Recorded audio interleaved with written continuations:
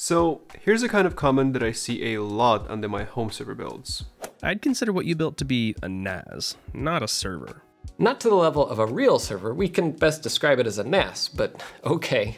It seems like you built a network attached storage, which is not a server and does not render server functionality. This is not a home server, this is a NAS. The video title should be How to Build a NAS, not a home server.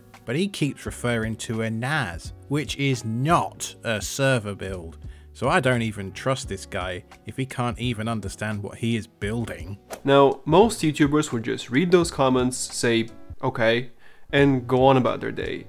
Or maybe not even read them at all. However, I am very petty and happen to have a lot of free time on my hands. So today, we're going to talk about the difference between a home server and a NAS, and maybe have a broader conversation about hardware gatekeeping in the home server community.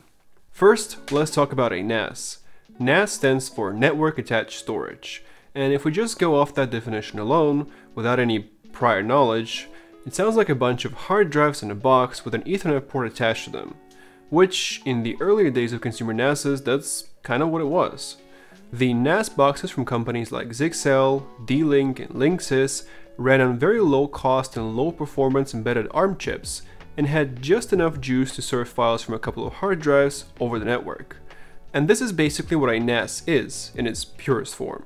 It stores the files, it attaches them to the network, that's it. That's all it does.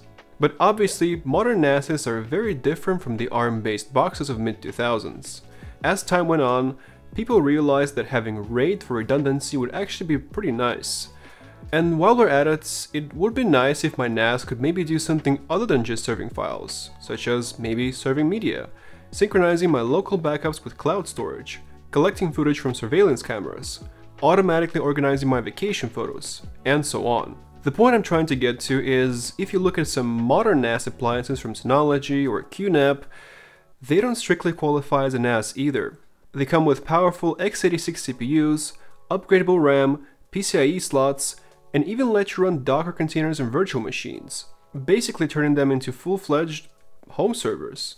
And if the commercial NAS appliances are kind of limited in terms of software, there is no doubt that a DIY PC with similar specs will be more than capable of any home server use case you could throw at it. But let's also go back to the YouTube comments that I presented earlier. If you look at some of them, NAS is often used almost as a derogatory term, like this is not a real home server, this is a NAS at most. And I think that this still indicates that outdated view of what a NAS is, a dumb hard drive box that has just enough brains to serve the files and maybe play some movies. A real home server should be beefy enough to run multiple virtual machines, do RAID, transcode media on the fly, and do all these other cool things, right? Well, the thing is though, in the past decade, computer hardware has become more powerful, more power efficient, and less expensive, all at the same time. Let's look at a real big boy server from 2013, a Dell PowerEdge R720 XD. It's a dual socket rack mount server that comes with two Intel Xeons E5 2650. Using old decommissioned enterprise gear in a home lab is a big thing, right? And I'm pretty sure that if I showed you guys one of these on my channel, there would be no doubt that that's, now that's what you call a real server. Here's an uncomfortable truth though. If we look at the cheapest current i3 processor, i3-13100, we'll see that it runs a laps around that Xeon, scoring almost two times as much in passmark which means that you can easily replace one of these dual socket dinosaurs with just one wimpy i3 at a fraction of a cost and around the tenth of a power consumption. And I know that for some of you guys, this is pretty obvious. Like, yeah, modern CPUs are faster than 10 year old CPUs, what else is new? But I think that a lot of people underestimate just how much faster computer hardware has become and just how beefy of a machine they really need for their home server needs. Another type of comment that I often get under my home server builds is, this build has a Pentium CPU? Yeah, pass. I'm currently running a setup that is even less performant than my last home server build, an Intel Pentium G4600, and mind you, that's a 5-year-old dual-core CPU. The system is currently running a dozen of Docker containers, in addition to serving files over the 10 gig connection, and I think it's fair to say that even this low performance machine still does more than just store files. I use it to generate invoices, download and stream media, scan my paper documents, and it also hosts my password manager. And looking at the load average, at the very least, it could run 12 more services with no issues whatsoever. But Wolfgang, it doesn't run any VMs, so it's not a real home server. True, but you know what does run VMs? This little machine based on an even weaker Celeron J4125.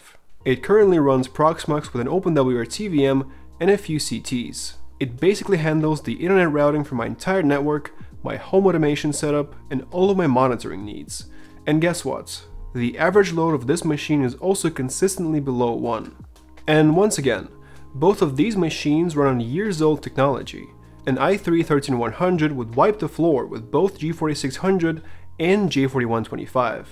But even these two machines are more than enough for my home server needs. And as I just showed you, I don't just use them to store files either. So does that mean that no one should ever have beefy 64 core Threadripper machines in their home lab? Of course not. There are definitely people who actually do need all that horsepower, and even if you like having beefy enterprise gear in your rack closet for no reason whatsoever, you go girly. But I think that there should be a place on YouTube for home server builds that don't break the bank. Builds that don't utilize outdated power gobbling enterprise hardware, and that might not have 300 PCIe lanes and ECC support, but will still be more than enough for most people, without taking half the room and sounding like a jet engine. And that's what I'm going for with my builds. And for the purpose of clarity, and as long as they do more than just storing files, I will keep calling them home server builds. And if you feel like these machines lack performance or features, well, there are still plenty of channels on YouTube that are dedicated to overkill monster server builds. For me though, I think I'm gonna keep building modest power efficient home servers with bulk storage, which I'm going to use to transcode media, run my virtual machines, and Docker containers. And if you'd like to see these kind of builds in the future, smash that subscribe button, I guess. Don't worry, I still do impractical and stupid builds once in a while as well. That's gonna be it for this video, I hope you guys enjoyed it, and as usual, I'd like to thank my patrons. James Eppington, Kevin Ware, Alessandro Colori, Carlos Bonilla, David Love, Jabastica, Matthew K, Robust Dream of Crypto, and everyone else supports this channel. Thank you guys for watching, and I'll see you in the next one. Goodbye.